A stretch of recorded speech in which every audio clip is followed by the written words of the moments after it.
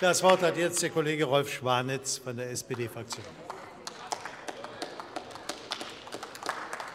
Herr Präsident, meine Damen und Herren! Eine große deutsche Tageszeitung schrieb in der letzten Woche angesichts der Tatsache, dass die Neuverschuldung für 2012 äh, satte 4 Milliarden über dem, Jahr von, über dem Wert von diesem Jahr liegen soll, Folgendes. Ich will es mal zitieren. Von einer konsequenten Haushaltskonsolidierung, gar einem echten Schuldenabbau kann angesichts dieser Zahlen keine Rede sein. Im Gegenteil, während Merkel, Schäuble und Co. in Brüssel lautstark die ungebremste Schuldenpolitik der Europartner anprangern, setzen Sie zu Hause trotz der im Grundgesetz verankerten Schuldenbremse die unselige Politik auf Pump fort. Zitat Ende. Der Einzelplan 10 ist ein Paradebeispiel für diese unsolide Haushaltspolitik, meine Damen und Herren. Denn das eigentliche Herzstück des Einzelplanes 10 soll für 2012 abermals sein der Ausbau und die Verstärkung der passiven Subventionen in der Landwirtschaft während andere wichtige Themen und Aufgaben sträflich missachtet und vernachlässigt werden. Dazu gehört beispielsweise die Strukturpolitik, dazu gehört beispielsweise Investitionen, Investitionsförderung in der Landwirtschaft, der Tierschutz im Bereich Massentierhaltung, dazu gehört Verbraucherschutz, dazu gehört auch Innovationspolitik, meine Damen und Herren. Das ist die Schlussbilanz dieser Haushaltsberatung beim Einzelplan 10. Zum Thema Agrarsubventionen an der Stelle nur so viel. Nach dem Willen der Koalition sollen im Haushaltsjahr 2012 nochmals zusätzlich, ich will über die Basisgrößen gar nicht reden, nochmals zusätzlich 335 Millionen Euro an passiven Agrarsubventionen für 2012 ausgebracht werden. 260 Millionen im Bereich Agrardiesel, 75 Millionen zusätzlich im Bereich der landwirtschaftlichen Unfallversicherung. Dagegen sind die Ausgaben für die Innovationsförderung im Haushaltsentwurf 2010 im Einzelplan, äh, Einzelplan 10 äh, geradezu kümmerlich. Der Betrag soll in 2012 bei noch nicht einmal 34, 35 Millionen Euro liegen, meine Damen und Herren. Man muss sich das mal klar machen. All das, was 2012 zusätzlich an passiven Agrarsubventionen ausgebracht werden soll, zusätzlich wird insgesamt das Zehnfache dessen ausmachen, was an Innovationsförderung im Einzelplan enthalten ist. Das ist die Situation. Wir haben Ihnen von der Koalition vorgeschlagen, diese Subventionitis zu begrenzen und stattdessen die Gemeinschaftsaufgabe Agrar- und Küstenschutz zu stärken. Kollege Briesmeier hat ja schon darauf hingewiesen. Sie haben 85 Millionen daraus geschossen, um die Agrardieselsubvention gegenzufinanzieren. Sie haben das abgelehnt, und Sie haben stattdessen in den Haushaltsberatungen bei der Gemeinschaftsaufgabe noch einmal die Verpflichtungsermächtigungen um 1,8 Millionen Euro gekürzt. Sie haben also nicht nachgebessert, nicht gemildert, sondern Sie haben zusätzlich verschärft die Situation. Frau Eigner, Sie werden der deutschen Öffentlichkeit sicherlich als Subventionsministerin, Sie werden aber nicht als Verbraucherschutzministerin, Sie werden auch nicht als Tierschutz- oder Innovationsministerin, Sie werden wahrscheinlich noch nicht mal als gute Landwirtschaftsministerin in Erinnerung bleiben, meine Damen und Herren.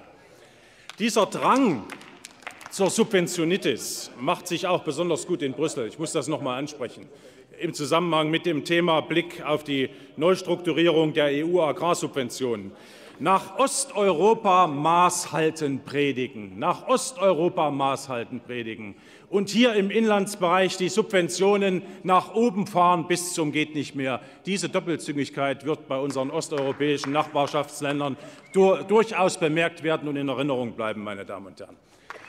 Beim Thema Tierschutz, Frau Ministerin, besteht fast ein Komplettversagen. Wie beim Verbraucherschutz agiert und reagiert Frau Ministerin Eigner nur, wenn es aufgrund des Außendrucks unvermeidbar ist. Mehr noch, ich habe den Eindruck, dass das Thema Tierschutz im Zusammenhang mit Massentierhaltung so lange tabuisiert wird, bis es eben quasi nicht mehr geht. Es bedurfte, wollen wir es noch einmal ansprechen, der Ansage des Landwirtschaftsministers aus Nordrhein-Westfalen, dass der Antibiotikaeinsatz bei der Hühnermast nicht die Ausnahme, sondern die Regel ist. Erst danach, erst danach kamen Aussagen von Frau Eigner auf den, auf den Tisch. Öffentlichkeitswirksamer Aktionismus war zu beobachten. Ich glaube, dass diese Zurückhaltung gegenüber dem Thema Massentierhaltung und Tierschutz System hat und auch etwas damit zu tun hat, wie die Nähe zwischen dem Ministerium und großen Unternehmen in diesem Bereich äh, sich abzeichnet. Eine solche Nähe halte ich grundsätzlich für problematisch. Der Auftrag des Ministeriums lautet, Anwalt beim Tierschutz zu sein. Anwalt beim Tierschutz zu sein. Deshalb finde ich es auch problematisch, wenn Massentierhalter selbst zu Sponsoren ministerieller Forschungsleistungen werden und beispielsweise Tierschutzaspekte, wie das bei der kürzlich erfolgten Einladung der Tönnies-Forschung quasi wie ein Anhängsel zu einem netten Event in Erscheinung treten. Ich will noch mal aus dieser Einladung, sie ist ja allen zugegangen aus dem Ausschuss und aus dem Haushaltsausschuss, noch mal zitieren. Da philosophiert ausweislich der Einladung der Tönnies-Forschung Peter Harry Carstensen in einem Vortrag über Ethik und Moral der modernen Nutztierhaltung, eingerahmt von einem Sektempfang und einem festlichen Dinner. Mit dabei auch das Max Ruber und das Friedrich-Löffler-Institut, die von der Tönnies offensichtlich Forschungsgelder beziehen. Sie kennen den Volksspruch, meine Damen und Herren, wessen, wessen Brot ich esse, dessen Lied ich singe. Solche Veranstaltungen halte ich für, nicht für unproblematisch, um es wirklich mal zurückhaltend zu formulieren, für die Unabhängigkeit des Ministeriums an dieser Stelle. Und es gehört auf den Prüfstand. Und das umso mehr, weil natürlich zugleich der eigene Forschungsbereich nicht ins Laufen kommt.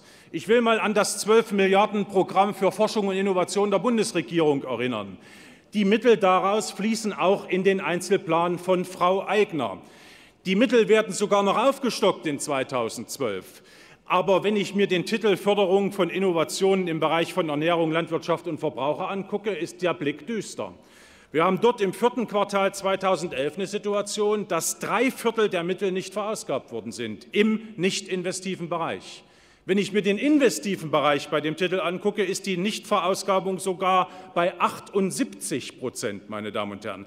Frau Schawan lässt sich vorne feiern für die Fördermillionen. Und Frau Eigner weiß nicht, wie sie mit dem Geld in die Aufgaben kommen soll. Das ist die Realität im Einzelplan 10, meine Damen und Herren.